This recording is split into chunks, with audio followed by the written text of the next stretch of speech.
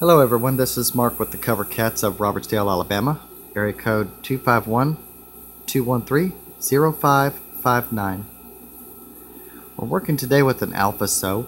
We've had this machine for about maybe, I'm going to say maybe about six months and we've only used it for about 150 hours. I uh, just got done doing a top stitch on here so I'm not going to bore you to death with that. I do want to show you the other features that it has. So without further ado, we're going to get right into it. First thing we're going to do is we're going to set this for straight stitch. Then we're going to move to zigzag. And I'll tell you what, we're going to flip this over so we can show the black on white contrast for you so you can see it a little better.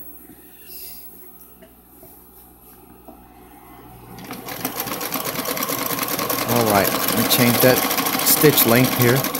Now, let's go to zigzag. This is the full throw of the zigzag.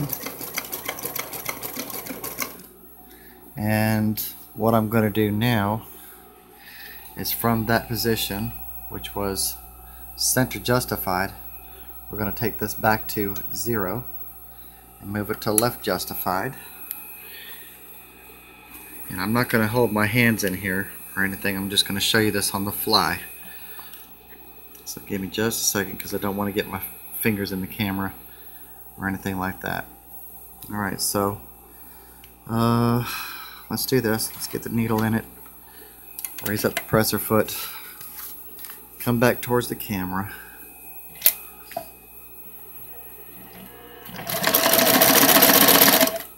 And put the needle back in it.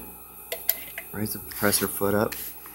The clearance on the presser foot is about 3 eighths. It's not very much, which is also one of our concerns because we sew many layers of fabric, up to 10 layers at a time.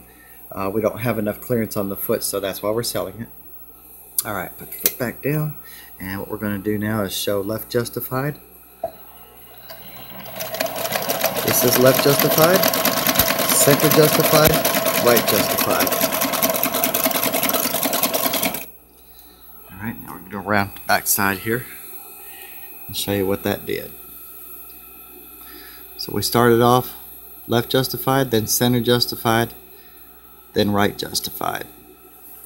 See that it has a very beautiful zigzag stitch back there in the back. Can't see it, will help you. Zoom in a little bit.